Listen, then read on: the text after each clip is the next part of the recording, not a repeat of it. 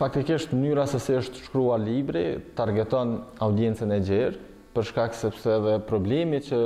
trajtohet është problem i të gjithëve në ditët e sotme dhe nuk është që libri ka për synim të themi gazetarët ose ata që punojnë me media, por faktikisht libri është i përdorshëm për këdo që ka interes të marrë më shumë njohuri rreth problematikës, rreth fenomenit të dezinformimit, të keqinformimit, të çinformimit, për shkak se sot pavarësisht në çfarë profesioni je, pavarësisht se çka punon, ballafaqohesh me të themi sëmundjen e informacionit, me infodeminë, ballafaqohesh me manipulimet e informacionit dhe në anën tjetër ne e dimë që është gjithmonë e rëndësishme që ne të jemi mirë të informuar për të qenë qytetarë aktivë në proceset shoqërore në vendin ku jetojmë. Dhe për ata edhe kam marrë vendim që disa nga shkrimet e publikuara më herët t'i kombinoj me shkrime të reja që e trajtojnë çështjen e dezinformimit dhe të tjerat dhe njëkohësisht gjithmonë gjuha e përdorur nuk është gjuhë të themi shkencore akademike, por është gjuhë e cila është më e kuptueshme edhe për ata të cilët nuk janë të fushës së komunikimit. Në rast se ka përdorim të teorive, aty për aty shpjegohet ajo në mënyrë që kushdo që e lexon, po themi në çfarëdo profesioni që është, në çfarëdo fushe që është, ta ketë sa më lehtë që ta kuptojë përmbajtjen e librit. Ne e shohim që në Kosovë ka vështirësi për ta dalluar të pavërtetën, dezinformatën nga informacioni i vërtetë, nga lajmi i vërtetë dhe këtë e mbështes edhe në një studim tjetër të punuar bashkë me kolegun nga Departamenti i Gazetarisë, profesorin Gëzim Qerimi, punim i publikuar tashmë në Vilnius, në revistën e Universitetit të Vilniusit në Lituani, dhe një prej gjetjeve kryesore te, te punimi Është fakti se respondentët, qytetarët e Kosovës, e kanë pasë të vështirë të identifikojnë cili është i vërteti dhe cili është i rremi. Çfarë kemi bërë ne, është që kemi vendosur në anketë katër tituj të dezinformatave, keqinformatave të shpërndara gjatë COVID-19 dhe katër që ishin të vërtetë. Dhe rezultati doli që nga këto të pavërtetat kishte që u besonin, Por ishte edhe më interesant ana tjetër, sepse lajmet e vërteta nuk besoheshin. Dhe kjo e tregon këtë krizën te qytetarët e Kosovës që ta dallojnë cila është e vërtetë dhe cila nuk është e vërtetë, dhe kjo e tregon gjithashtu mundësinë që qytetarët e Kosovës të bien pre manipulimeve të informacionit, të veprojnë nesër duke lexuar dhe duke besuar diçka që nuk është e vërtetë. Në anketë janë mbi tetëqind respondentë nga të gjitha rajonet e mëdha të Kosovës, në mënyrë që të kemi një gjithëpërfshirje të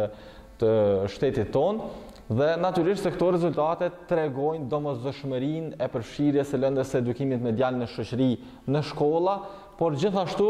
edhe të gjindet mundësia e arsimimit joformal për grupmosha, për njerëz të cilët nuk janë në shkolla më. i përmend edhe studentët. Te studentët unë gjithmonë dalloj studentët të cilët studiojnë në departamentin tonë, studiojnë për media, studiojnë për gazetari, për shkak se ne që nga dita e parë dhe deri në fund në lëndë të ndryshme e trajtojmë problemin e dezinformimit, mirëpo kam pas rastin të mbaj trajnime me studentë të fakulteteve të tjera dhe aty e kupton se ata studentë të cilët studiojnë në fushën e ekonomisë, në juridik, në shkenca politike, në sociologji, e kanë të vështirë ta zbërthejnë çrregullimin informativ në radhë të parë, pastaj e kanë vështirë edhe ta dallojnë cila është e vërteta, cila jo, cilët janë hapat që duhet ndjekur si ë marrës i informacionit, për ta verifikuar nëse është e vërtetë ose jo, për shkak se në ditët e sotme nuk është e pamjaftueshme që ne gjithmonë të presim që çdo informacion të verifikohet nga gazetari. Kur e bën gazetari, atëherë është profesion është profesionisti që e kryen punën e tij dhe parimisht gjasat janë që të jetë e vërtetë. Ndërkohë, ajo çka unë besoj është që ne sot duhet të kemi një lloj minisensi të verifikimit të gazetarit secili për ne. Për shkak se ne edhe shumë informacione nuk po i marrim në media, në portale, por po i marrim në media sociale. Po e përdorim edhe Facebook-un, edhe Instagram-in për të marrë informacione. Ato nuk janë lajme, për shkak se lajmi shkruhet nga profesionisti i fushës. Ato janë informacione që dikush i shpërndan. Nëse ne nuk e kemi mënyrën se si t'i kontrollojmë, se si t'i verifikojmë ato, I bie që mundësia, probabiliteti që të mashtrohemi nga dikush varet nga qëllimi i tjetrit.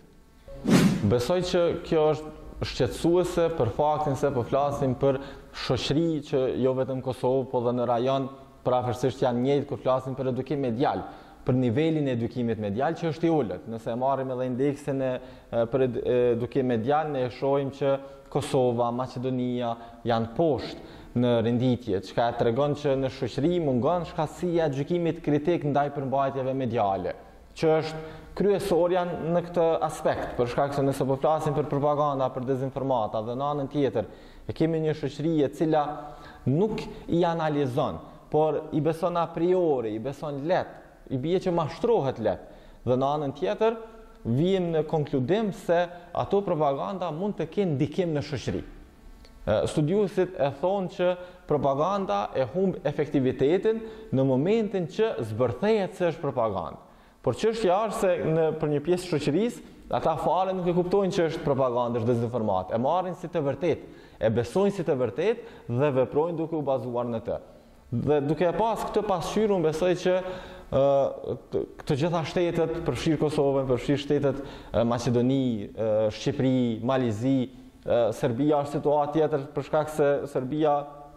është vetë e përfshirë në shpërndarjen e, e propagandave, po për këto shtetet e tjera besoj që është shumë e rëndësishme që të punohet në mënyrë që të themi të luftohet kjo formë e shpërndarjes së dezinformimit, të luftohen valët e ndryshme të dezinformatave. Nëse e shohim rastin tonë në Kosovë, ne vërejmë që kemi valë të ndryshme të propagandave, të dezinformatave, varësisht nga zhvillimet që i kemi, si Kosovë, çështja e veriut që është gjithmonë më e ndjeshme, por edhe tema të tjera të cilat përdoren për shpërndarë propaganda të ndryshme, dezinformata të ndryshme. Madje edhe rasti në Pejë që ishte me të moshuarën u keqpërdor, themi nga ë propaganduesit dhe shkoi deri në Spanjë propaganda që një e re shqiptare po e keqtrajton një të moshuar të komunitetit serb, që nuk ishte fare e vërtetë, megjithatë Kjo është forma se si tema të ndryshme mund të përdoren nga të tjerët për shpërndar dezinformata propaganda dhe për të krijuar të themi bindje të ndryshme të qytetarëve nga vendet e tjera për Kosovën. Jo rastësisht mendoj unë, ishte në Spanjë, në një vend që neve nuk na njeh dhe në një vend ku bindja për Kosovën nuk është që mund të themi se është pozitive. Dhe kur qytetarët atje e shohin një dezinformatë e tillë, duke besuar që është e vërtetë, atëherë bindja e tyre për Kosovën bëhet vetëm edhe më e errët, është edhe më negative. Unë besoj që për gazetarët është e rëndësishme sot që të shkojnë përtej tekstit të tyre. Ë natyrisht që gazetari verifikon informacionet që i merr, faktet që i ka brenda storjes, burimet të cilat i përdor për ta përgatitur raportin, storien. Mirëpo, sot është e domosdoshme që për të njëjtën temë gazetari të shoh edhe çka po qarkullon themi në ambientin informativ. Për shkak se nëse ka propaganda që po qarkullojnë për të njëjtën temë, unë besoj që është shumë e rëndësishme që gazetari këtë ta demantoj në të njëjtin artikull, në të njëjtin tekst dhe ta tregoj edhe atë pjesën që është e dëmshme për për shoqërinë. Ndërkohë për qytetarët e kam edhe te libri pjesën ku propozoj një model me tri pyetje që unë besoj që është e domosdoshme sot t'ia bëjmë vetes si qytetar të Kosovës ose të çfarëdo vendi sepse kjo është çështje globale tek e fundit, po fokusi ynë te Kosova dhe qytetarët në Kosovë Në një, gjithmonë duhet të pyesin kush është burimi, pra prej nga ne po e marrim informacionin. Dhe ë nëse ne e kuptojmë se kush është burimi, atëherë e kërkojmë të njëjtin informacion edhe në një media tjetër. Për shkak të relevancës, është e vështirë që ti ta kesh një lajm të vërtetë, të rëndësishëm vetëm në një burim. për shkak se do të shpërndahet, është vetë gazetaria funksionon ashtu. Dhe nëse ti e ke vetëm në një faqe të Facebookut, po nuk po e gjen në media, nuk po e gjen në vende të tjera, atëherë dysho mbaje pikëpyetjen te informacioni që po e merr dhe e treta mbështetet në burime zyrtare.